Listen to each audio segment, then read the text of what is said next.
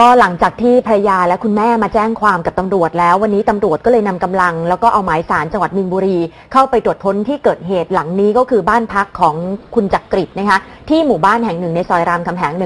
174 โดยวันนี้ค่ะนอกจากตำรวจแล้วคุณแม่ แล้วก็ภรรยานะคะก็ได้เดินทาง ไปเพื่อที่จะนำตำรวจเข้าไปตรวจค้นด้วยนะคะ จุดที่สำคัญคือมีการพบปืน4กระบอกในบ้าน แล้วก็มีอุปกรณ์เสพสารเสพติดทั้งเก่าและใหม่ที่มีสารตกค้างอยู่ด้วย ซึ่งตำรวจต้องเอาไปตรวจสอบต่อไปค่ะ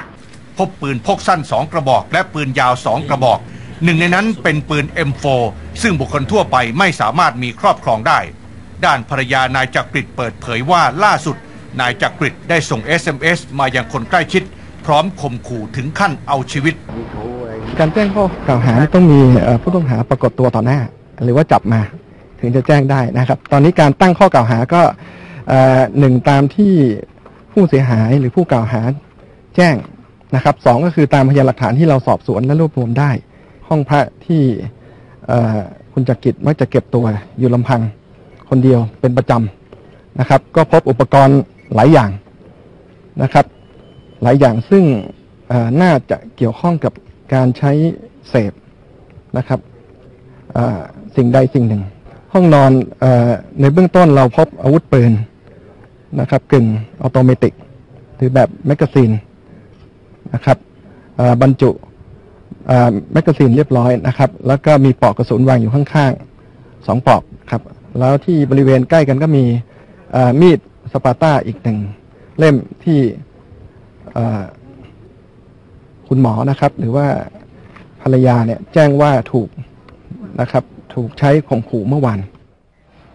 คือนอกจากอาวุธปืน 4 กระบอกอุปกรณ์เสพยาเสพติดแล้วจุดที่สำคัญคือปลอกกระสุนปืนที่ตกอยู่ในบ้าน 3 อัน 3 ปลอกด้วยกัน ซึ่งตรงกับคำให้การของคนในครอบครัวที่บอกว่าเมื่อวานนี้นายจักริดเพิ่งจะยิงปืนที่หน้าบ้านนะคะ ครับ หลักฐานก็ต้องเอาไปตรวจพิสูจน์กันต่อไป แต่ว่ามีข่าวว่านายจักริดเคยเข้ารับการบำบัดอาการติดยาเสพติด แล้วก็เคยกินยาควบคุมอารมณ์ด้วย อืม แต่ประเด็นเรื่องนี้นะคะ ทางเจ้าตัวก็คือนายจักรกฤษณ์เอง ได้ให้สัมภาษณ์ทางโทรศัพท์กับทีมข่าวกีฬาสำนักข่าวไทยแล้วนะคะ ซึ่งก็ยอมรับบอกว่าเรื่องหึงหวงกับภรรยาเป็นธรรมดา แต่ถ้าเป็นเรื่องของสารเสพติดยาเสพติด ยืนยันเลยว่าไม่เคยยุ่งเกี่ยว แล้วก็ไม่เคยตรวจพบสารเสพติดในร่างกายด้วยนะคะครับไม่ว่าจะไปแข่งกีฬาในทัวร์นาเมนต์ไหน และตอนนี้ก็ยังไม่ได้หมายเรียกใดๆจากตำรวจด้วย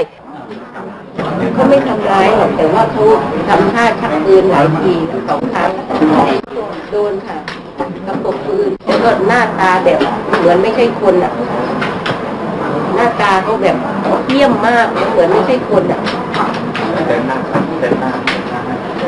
ส่วนใหญ่ขู่ในลักษณะไหนครับคุณแม่ครับ ถ้าเอาเรื่องเขาไปพูดก็จะจะยิง เลยบอกว่าแม่บอกว่า เรื่องของเธอไม่มีใครพูดหรอกเธอประจานตัวเองในวงเล่าก็บอกที่เขาพูดในวงเล่าเพื่อเตือนสติตัวเองตามปกติเนี่ยแม่ก็เลยบอกว่า ถ้าเธอใช้ยาเสพติดอะใช้ เธอใช้เธอใช้ยาเสพติดเนี่ยนะ และเธอมั่วเซ็กเนี่ย เดี๋ยวเธอก็เป็นเอด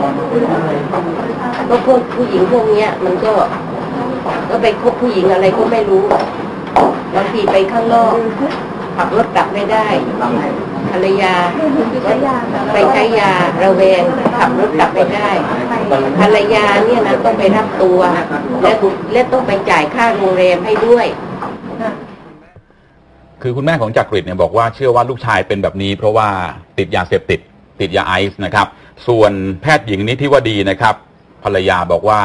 คือเคยเจอเหตุการณ์หลายอย่าง แม้กระทั่งเวลาที่นอนอยู่กับลูกแล้วจักริดเอาปืนมายิงขู่เฉียวหัวลูกไปก็มี ค่ะเกือบตายกันมาหลายครั้ง จนที่สุดแล้วเมื่อวานนี้ก็ไม่ไหวก็เลยแอบพากันหนีออกจากบ้าน ตอนที่จักริดไม่อยู่บ้านนะครับ ใช้อาวุธปืนยิงมาที่พี่เลี้ยงซึ่งกำลังอุ้มลูกอยู่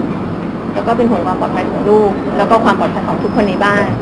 ซึ่งเราอยู่ด้วยกันเนี่ยประมาณเกือบสิบคน เราต้องเจอกับคนเอาปืนมาจ่อหัว เราต้องเจอกับคนเอามิสปาต้ามาจ่อ ซึ่งตรงเนี้ยเนี่ย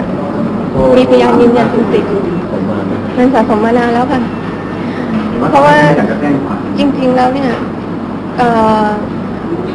ทุกอย่างเนี่ย มันมันเกิดมานานแล้ว อดทนมาตลอด แต่ พื่อลูก แล้วก็เพื่อชีวิตของเรา เราต้องเราต้องสู้เพื่อชีวิตของเราอะเราก็ไม่อยากทำแบบนี้แล้วค่ะแต่การดำเนินการคดีนี่จะดำเนินการที่ถึงที่สุดเลยหรือเปล่าครับก็ถึงที่สุดค่ะ เพราะว่าถ้าเขาออกมาอยู่กับดิฉัน หรือออกมาในโลกภายนอกเนี่ย คนที่ตายคือดิฉันและลูกและแม่เขาเอง แพทย์หญิงนิติวดีบอกว่ามันเป็นฟางเส้นสุดท้ายแล้วกับเหตุการณ์ที่เกิดขึ้นเมื่อวานนี้ จนต้องมาแจ้งความที่สอนอมีนบุรีนะครับ